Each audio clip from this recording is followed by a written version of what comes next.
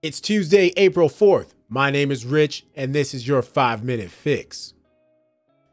All right, big news in the sports entertainment world. UFC and WWE will team up to form a $21.4 billion sports entertainment company. My goodness. Now, I do recall not too long ago, there was a time where the WWE was said to be being purchased by a Saudi entity. I guess that didn't pan out and it is uh, going to be a merger with the UFC. Let's take a read, baby.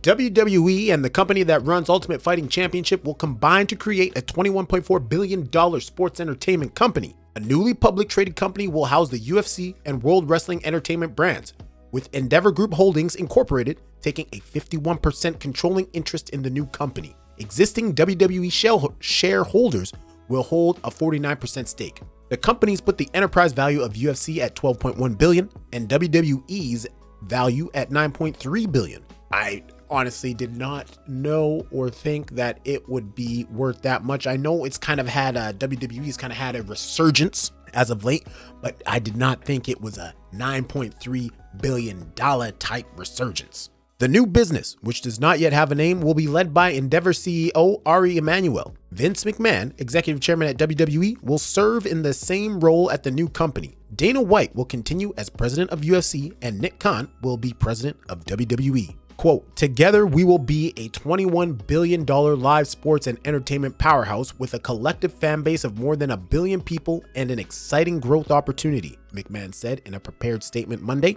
He also provided some idea of where the focus of the new company will be, saying that it will look to maximize the value of combining media rights, enhance sponsorship monetization, develop new forms of content, and pursue other strategic mergers and acquisitions to further bolster their brands. Ties already existed talent wise between WWE and UFC, with stars such as Brock Lesnar and Ronda Rousey crossing over between the two businesses.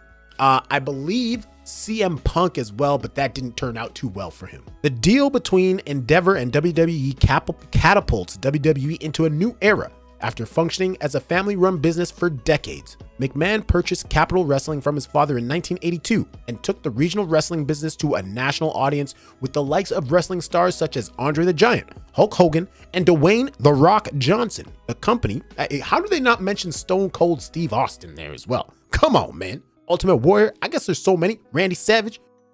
Could have named anybody. But uh, okay. Anyways, the company which changed its name to World Wrestling Federation and later World Wrestling Entertainment, hosted the first WrestleMania in 1985. McMahon, in an interview with CNBC, addressed the notion that there was doubt among some WWE fans and industry experts that he would ever make a deal for the business. It's the right time to do the right thing, and it's the next evolution of WWE, he said. Um, I want to know what the payout structure is for Vince McMahon and uh, you know all the I guess all the shareholders of WWE.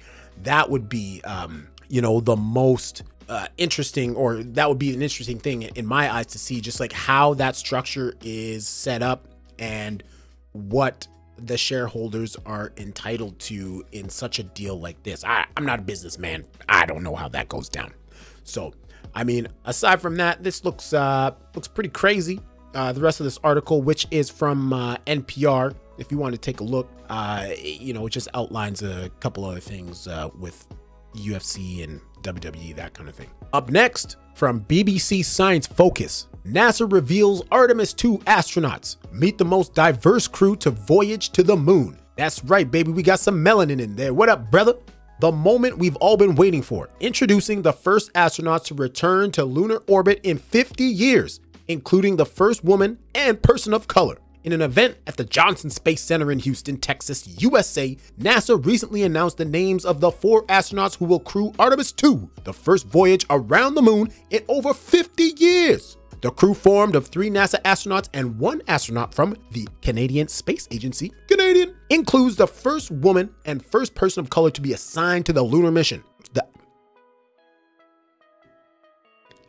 the astronauts flying Artemis 2 to the moon are Christina Koch, or Koch, how do you want to say it? I don't know. 44, NASA, who holds the record for the longest single spaceflight by a woman. She's from Michigan and has completed 328 days in space, joining NASA in 2001. With a background in electrical engineering, Kosh, or Koch, spent a year training at the South Pole. My goodness, imagine what that was like. Training at the South Pole. What what does that even consist of? That's what I'd like to know. Jeremy Hansen from the CSA, 47 years old, is the Canadian Space Agency's astronaut though in 2017 was put in charge of training new NASA astronauts as well as Canadians. While he was selected to be an astronaut in 2009, this will be his first flight assignment. Imagine seeing our planet from space. It's going to be amazing, said Hansen in a video interview. Good for him, shout out. Victor Glover, 46, a naval aviator who completed his first space flight in 2021. He has spent 168 days in orbit and participated in four spacewalks. He hails from California and has an academic background in engineering. And last but not least, Reed Wiseman, 47, from NASA, who is also a decorated naval aviator from Maryland. He was selected for NASA's 20th astronaut class in 2009 and recently served as chief of the astronaut office. Yo, eh, this is wild. Um, as it said, it's been over 50 years since, uh, you know, man has taken a trip to the moon, as far as we know. So I, find this kind of stuff interesting. Uh, it's kind of crazy. Uh, you know, you also have that whole element of uh, UAPs and stuff popping up. Maybe some crazy shit will go down. Who knows? We'll see. Should be entertaining. Uh, I'll read a little bit more here. While NASA had, actually, you know what? Let's go, let's go down. Let's go down. Let's read about Artemis 2. Artemis 2 is the final test flight with NASA's Artemis program, which aims to return astronauts to the moon for the first time since 1972.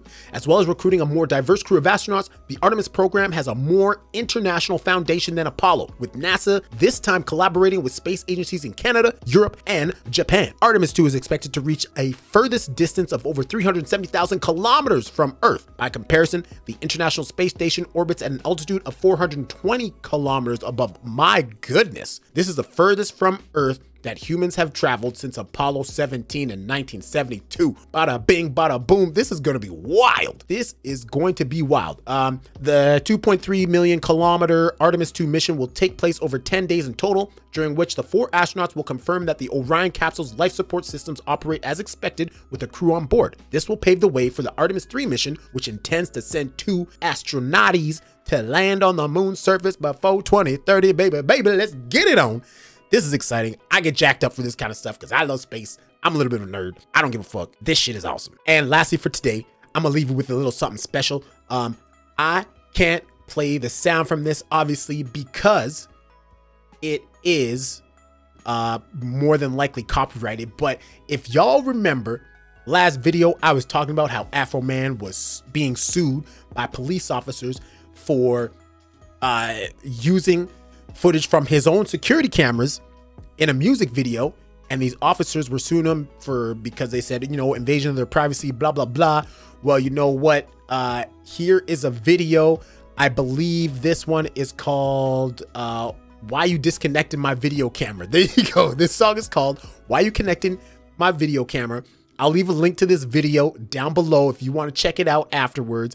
But uh it, it also it's seven minutes long, almost eight minutes long. So, you know, it, I listened to it. It's kind of funny, dope stuff. Uh, you know, Afroman, he's just yeah, kind of like, you know what I consider Afroman? Now that I think about it, Afroman is kind of like the, uh, who is it? What's that guy's name?